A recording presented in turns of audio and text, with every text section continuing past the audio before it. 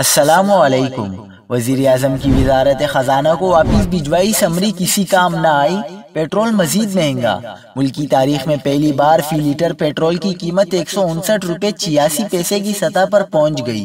क्या आप हालात हाजरा से आगाही हासिल करना चाहते हैं?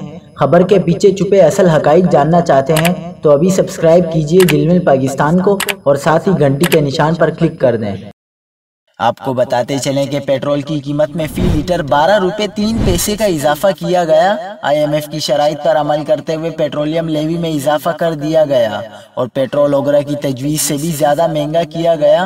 पेट्रोल पर फ़ी लीटर लेवी में चार रूपए का इजाफा कर दिया गया है। अगर पेट्रोल पर लेवी बरकरार रखी जाती तो कीमत में चार रूपए फ़ी लीटर कम इजाफा होता। मगर पेट्रोल पर लेवी बढ़ाकर सत्रह रूपए बयानवे पैसे फ़ी लीटर कर दी गई है, जबकि इससे कवर पेट्रोल पर फ़ी लीटर लेवी तेरह रूपए बयानवे पैसे आई थी। जब तक पेट्रोल और हाई स्पीड डीजल पर पेट्रोलियम लेवी तीस रुपए फ़ी लीटर तक नहीं पहुँच जाती, उस वक्त तक हुकूमत ने आईएमएफ की शराइ के तहत हर महीने लेवी में चार रुपए इजाफा करना है। यकुम फरवरी से पेट्रोलियम लेवी में कमी करके पेट्रोलियम मसनूआत की कीमतें बरकरार रखी गई थी।